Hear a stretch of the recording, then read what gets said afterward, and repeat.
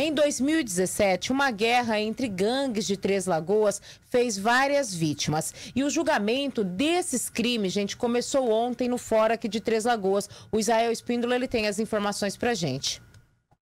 Deu início na manhã de quarta-feira, no Fórum de Três Lagoas, o julgamento de uma série de assassinatos que aconteceram no ano de 2017. O julgamento começou por volta das oito e meia da manhã e demorou por mais de seis horas. Estão no banco dos réus André Lima Silva Filho, Lucas de Souza Ruiz, Maurílio Catana do Amaral e Rogério Moreira de Oliveira. Todos esses quatro são acusados pela morte do jovem Maciel Soares de Souza Júnior em maio de 2017.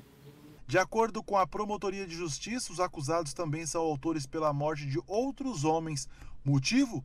Vingança e rixa entre dois bairros de Três Lagoas. Maciel Soares de Souza Júnior, vulgo Geraldinho, de apenas 14 anos, morreu na noite de um sábado, de 6 de maio de 2017.